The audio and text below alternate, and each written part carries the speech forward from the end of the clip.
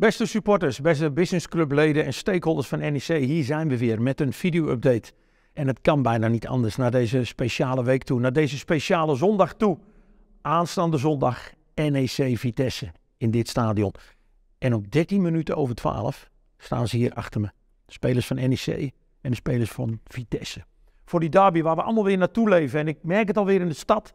Uh, een, een derby om bij. De supporters zijn er mee bezig. Natuurlijk met de spandoeken en de acties. Het leeft positief. En daar word ik blij mee, want er is heel veel te doen rondom deze wedstrijd. Natuurlijk kijken we allemaal nog een keer terug naar twee jaar geleden. Maar die tijd ligt achter ons en daar wil ik het ook niet meer over hebben. Ik wil vooruitkijken. Dat ga ik doen in deze video-update. Aantal dingen. We gaan het hebben over uh, ticketing, seizoenkaartverlengingen.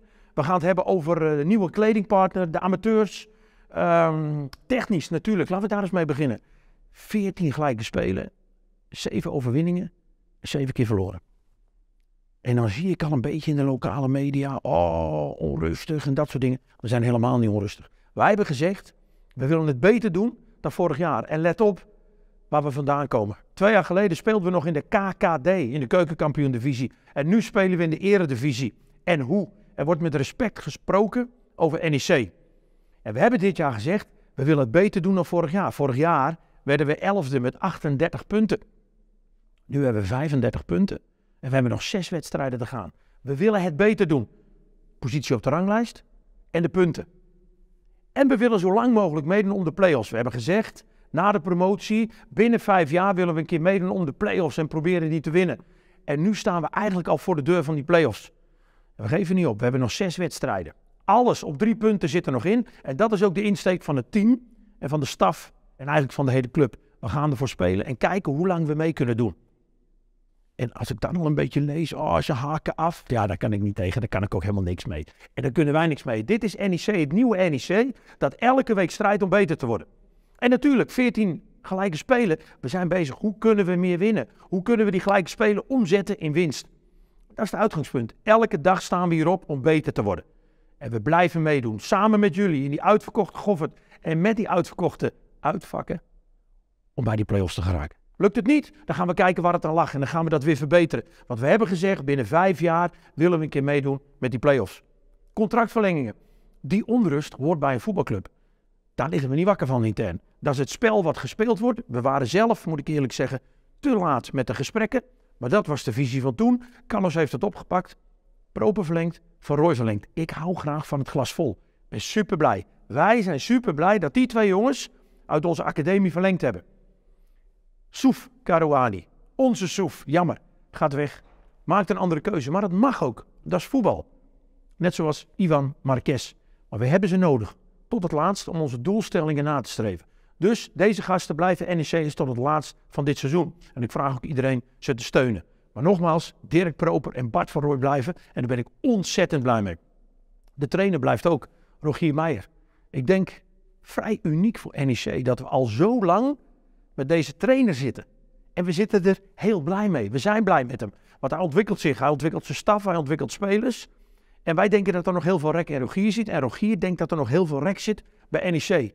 Toch een geweldig boegbeeld, goed uithangbord van onze club. Een nette kerel met een visie, altijd een goed plan. Dus wij zijn ook super blij dat Rogier blijft en dat hij verlengd heeft met een jaar. Want we zijn allebei nog niet klaar. We willen beter en meer.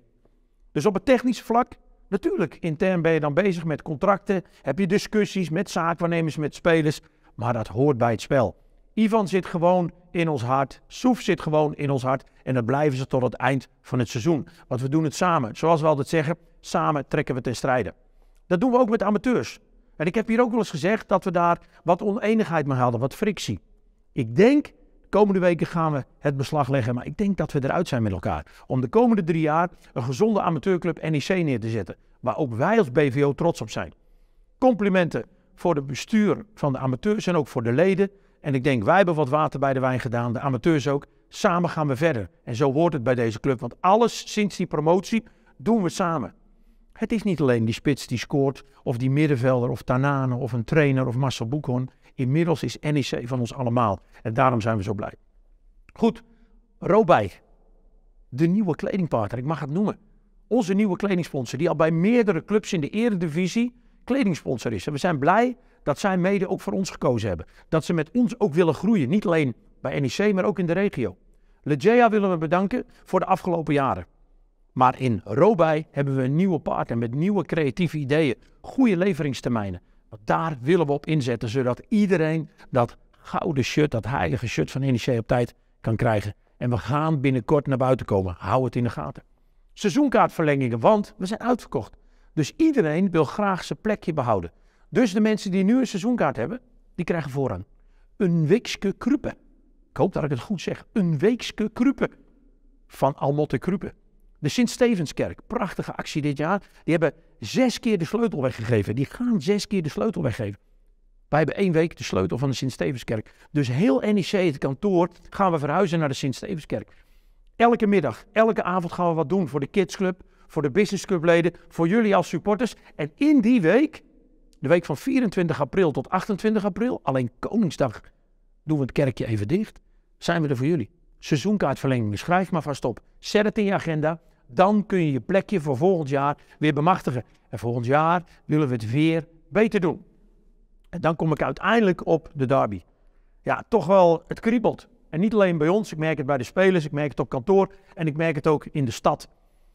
Van de week alweer hoor ik het derby-ontbijt, wat altijd uh, populair is bij de derde kamer. Ik hoor mensen die op vrijdagavond de kroeg ingaan voor die wedstrijd. En zo hoort het ook. Zo moeten we het beleven. Supporters van Vitesse doen dat in Arnhem. Wij doen dat in Nijmegen. En ik moet complimenten geven voor de laatste anderhalf jaar. Ook in Arnhem, maar ook in Nijmegen doen we het goed. Zoals een derby beleefd moet worden. Vitesse heeft zijn feestje in Arnhem en heeft daar de humor die hoort bij een derby en de pittige teksten, normaal, die horen bij een derby en wij doen dat hier. En jullie hebben het allemaal gelezen, de KVB, ze gaan opletten. Wat wordt er op het veld gegooid? Eén keer staken, twee keer eraf. Dat kunnen we niet hebben. En dan ga ik toch nog één keer terugkijken. Want van de week had ik ook een gesprek met de driehoeken. Toen vroeg ik, hoeveel mensen hebben er nu eigenlijk een straf gekregen naar aanleiding van toen? En dan hoorde ik werkstraffen, ik hoorde gevangenisstraffen en ik hoorde zelfs boetes tot en met 10.000 euro per persoon. Dat willen we nooit meer en dat gun ik niemand. En dat moeten we voorkomen. Deze derby waar iedereen in Nederland nu op kijkt, naar aanleiding van alles wat er in Nederland gebeurt. We liggen onder een vergrootglas, moeten we laten zien hoe het hoort. En in de Goffert de laatste twee jaar complimenten voor iedereen, hoe we er hier een unieke sfeer van maken. En meneer Bruls, onze burgemeester, heeft ook gewoon gezegd: Vitesse mag komen, vol uitvak, 500 man. En zo hoort het.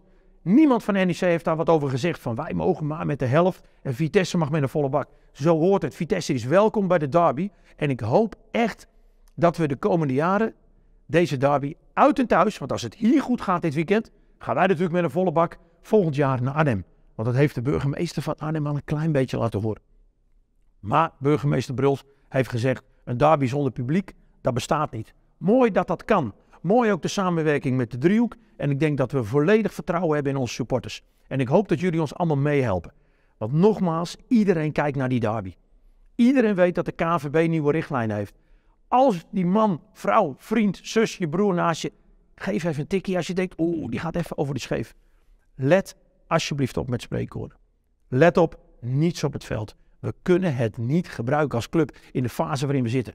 Iedereen spreekt positief over NEC. Hans Kraai junior pas bij Goedemorgen Eredivisie. PSV 4-0 achter en jullie stonden erachter. Jullie bleven erachter staan.